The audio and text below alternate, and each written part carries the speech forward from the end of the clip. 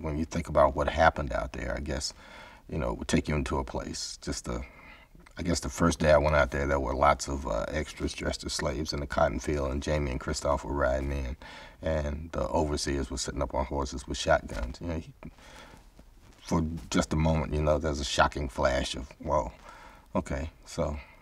I mean, I knew what it looked like in my head, but to see it actually, see people there doing it, it's kind of, you know, it's a different dynamic.